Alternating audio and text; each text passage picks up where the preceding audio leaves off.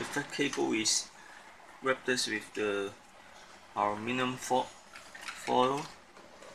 This is the adhesive aluminum foil for shielding purpose. And the lead wire will connect here to the ground or the chassis. And now I'm wrapping the rubber tape for insulation purpose.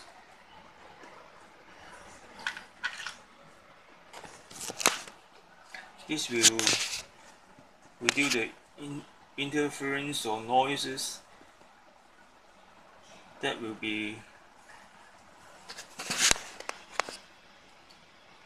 received by the flat cable. Because uh, you can't solder the lead wire ends to the aluminum foil so I use a very thin this brass plate I think 0.15 something millimeter.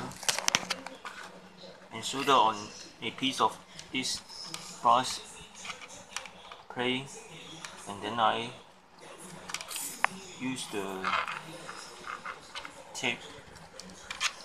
It, wrap it as the tape will wrap all along this foil